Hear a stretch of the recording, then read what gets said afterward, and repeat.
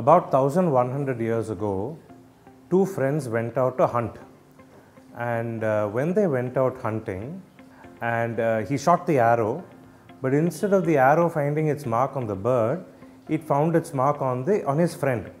And the friend died because of the arrow shot. Now tell me, in, in what you understand of uh, crime and punishment, should he be acquitted because he didn't intend to kill his friend, or do you think he had some secret motive to kill his friend and this hunt was just a pretend? These are the kind of stories that you will learn today. Uh, I am Pradeep Chakravarthy and I write about history and making history relevant for our lives today. Join me today as I tell you a little bit about what was crime and punishment like in medieval India.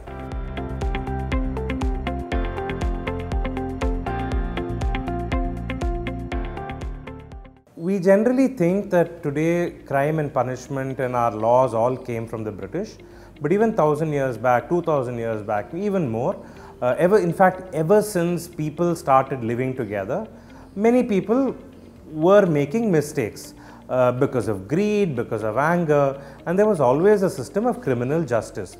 Now, in medieval Tamil Nadu, which is about you know from the fourth, fifth century till about the 11th, 12th century, there are many, many inscriptions on temple which talk about what some of these crimes were and how they were punished. So even today in Tamil Nadu, if you go to many of the temples, there'll be a lot of writing on the wall. All of these have nothing to do with the religion of the temple. All of them are not even about mythology, you know, Ramayana and Mahabharata. They're all important records for the community that were mentioned on the temple walls. And some of these, in fact, many of these are actually criminal judgments and justices, the rulings that were given uh, that were important for the village. So, from many of these inscriptions, we can get a certain sense of what were the kind of crimes for which people were punished and what were the kind of crimes that people said, it's okay, these things happen, let's leave it, let's miss it out. So, incidentally, in this case, um, the committee met, the committee of the elders in the village, they met. And by the way, the elders are not just the old people, they were also people who knew the Dharma Shastras.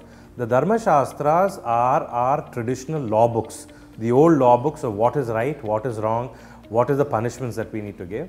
And they heard this case out in great detail and they finally decided that the friend had shot his other friend to death by mistake and he was asked to light a lamp in the local temple and pray for the friend and that's how the case got sorted out. But in many many other instances we can find some broad patterns and that's what I'm going to tell you today.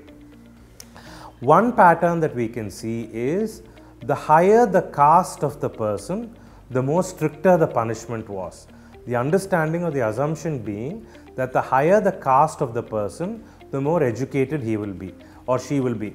And the more educated he or she will be, the more sure they need to know what is right and what is wrong. They were not supposed to be making mistakes at all. They were supposed to be the people who would check whether other people were following rules and regulations. So if they themselves didn't follow rules and regulations, things wouldn't work out well for the community, which meant therefore that punishments for them were very strict.